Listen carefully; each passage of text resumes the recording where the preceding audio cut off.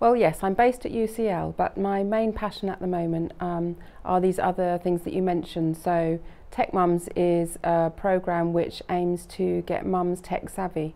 So, we decided that we want to show the whole world how exciting technology is.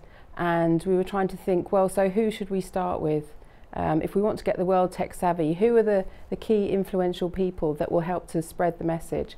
And we decided that that would be mums because mums are like the cornerstone of the family and everyone respects their opinion. So if we get mums excited about technology, then we can get the whole family excited about technology and then we can get the whole world excited about technology and see what benefits there are from technology.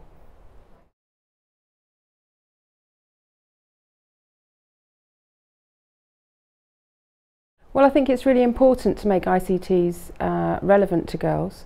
Um, I think that probably having some uh, lessons with girls on that being taught on their own and, and not in mixed lessons would probably help.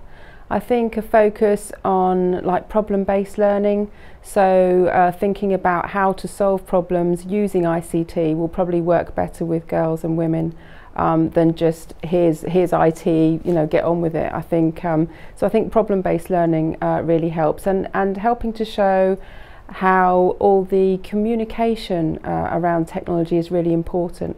And so showing how technology helps you connect to people around the world and helps you can help you to achieve amazing things.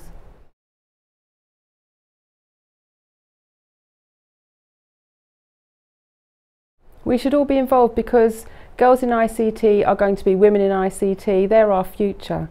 and at the moment there aren't enough women in ICT so we really need to make sure that we get girls excited about it get girls into ICT now so that they will be our future hopefully our future leaders in technology. And if we get them excited about it now who knows what they'll be able to achieve.